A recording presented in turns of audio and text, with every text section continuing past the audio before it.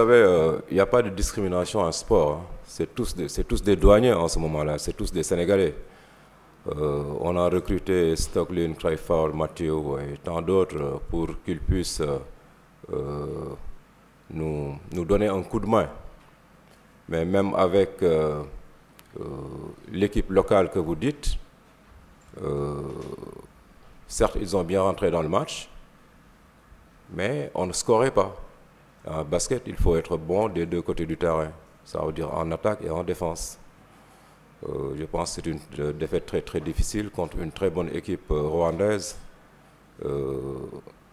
cette équipe a mis les shoots que nous, nous avons ratés. Nous avons fait euh, à 3 points un 4, 4, sur 28, criard, tous des tirs ouverts. Maintenant, il y a des choses que tu peux contrôler, il y a des choses que tu ne peux pas contrôler en basket. Parce que l'adresse, c'est quelque chose d'aléatoire. Aujourd'hui, tu l'as, demain, euh, tu l'as, tu, euh, demain, tu ne l'as pas. C'est comme une maladie contagieuse. Il suffit que 1, 2, 3, voire 3 jours commencent à scorer, et puis ça contamine toute l'équipe. Et nous n'avons jamais eu euh, l'opportunité d'avoir cette réussite dans le match et ça contamine toute l'équipe. Ça, c'est une évidence. C'est vraiment dommage, c'est vraiment dommage parce qu'on aurait pu faire un, meilleur match aujourd'hui, mais c'est comme ça. Il va falloir juste être costaud aussi, oublier très très vite ce match-là et essayer de revenir fort.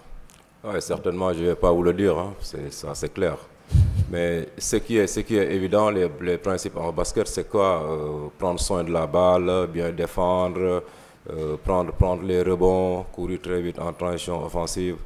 Euh, ce que nous n'avons pas fait aujourd'hui et que nous avons raté la plupart des paniers. ça, c'est les principes en, basket. Il va falloir se concentrer sur ça d'abord pour avoir confiance et faire un très bon match.